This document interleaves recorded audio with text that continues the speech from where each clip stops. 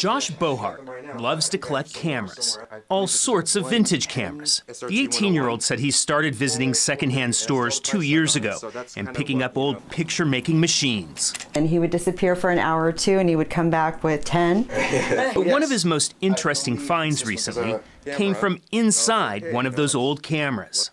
I opened it up, I saw the film, and then I was like, oh, okay, the light's gonna, you know, leak into it and ruin all this film. And then I then wound it back up.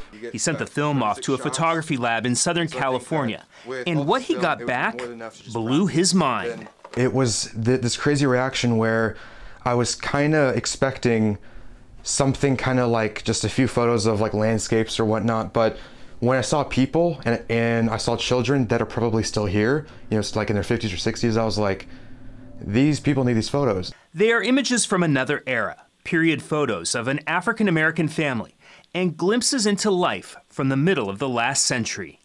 Now he's more interested in finding the family and connecting the pictures with the people in them. Maybe it was shared, and then one of the family members was trying to practice, uh, I guess, taking pictures with it, you know, photography. He bought the camera, like almost every other camera he has, from the Goodwill store in Folsom. The store, though, couldn't say whether the camera was donated locally or somewhere else. And uh, I had actually searched the serial number right here, and this was made in July of 1952. When the photos were actually taken is anyone's guess, but there are clues in the children's clothing. You know, like you have the, the tall white socks with the shoes. And the cars in the background.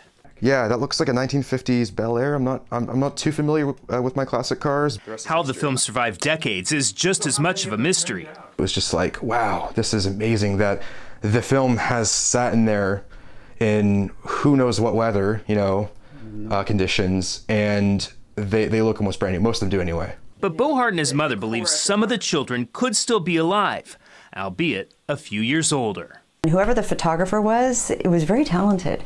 And um, so it would be really interesting to see if we could find these people.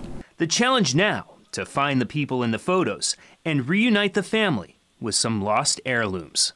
In Folsom, Kevin Oliver, KCRA 3 News.